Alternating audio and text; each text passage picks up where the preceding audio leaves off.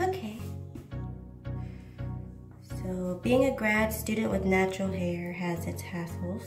Um, I like to keep my hair in a protective style and I'm in between at the moment. I had some braids in before, so I have this middle part going. But um, this is what I'm working with. Whenever my hair is loose, I like to give it a little massage. So if I don't do it with my own hands, I use this thing that all the other YouTubers are using.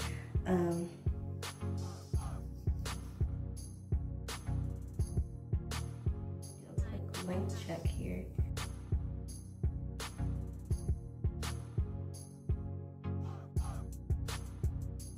this, I'm gonna leave it off so my hair gets a little added moisture. Um, and whatever gets wet, gets wet. Water moisturizes our hair, so it's no big deal. Okay, so this is what I'm working with. The water um, and the steam got into my hair and shrunk it up, which was expected. My part usually still here. Of my Taliah Waajid to it. Um, I don't do this all the time. Usually all I put in my hair is water, um, my oil mix that I uh, got from Natural 85, um, and then some shea butter. So some raw shea butter.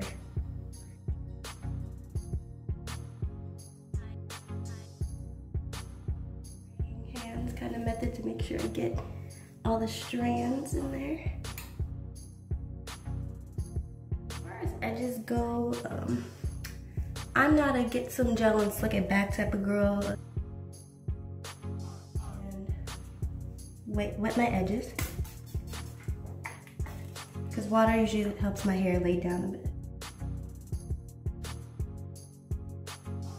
Brush, since I don't need a big old brush for much and I just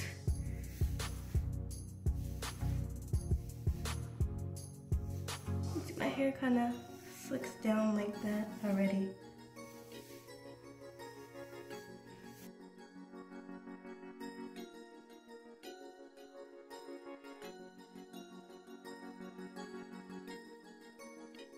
And put that on my ends.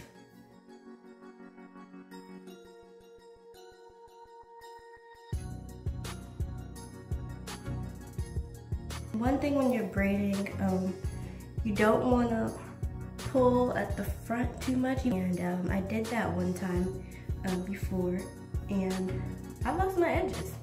They were gone. Um,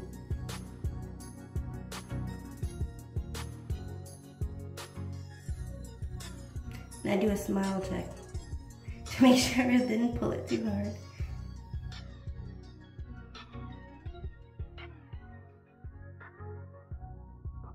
Front of my hair kind of only stretches to that far and then, you know, you get to the end, so it's gonna pop out. Again, my edges are not super slick um, and my the front of my hair is not super tight. I can still smile. Um, but again, I'm not going for the, the slick look. So I'm gonna do the other side and then um, come back.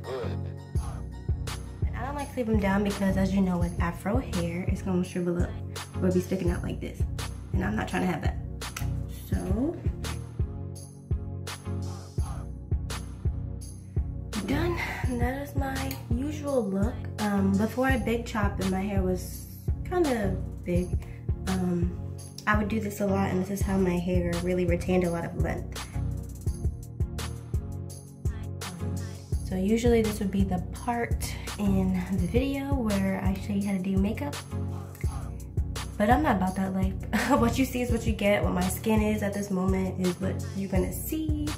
Um, I like to focus on my hair, make sure that's moisturized and drink water or whatever. So yeah, you're just gonna get this, um, some shea butter on my lips. And I don't redo my braids every morning. Um, I do it every few days or so um, when it's starting to look a little rough, like when this starts to get super frizzy. Um, but so yeah, there's this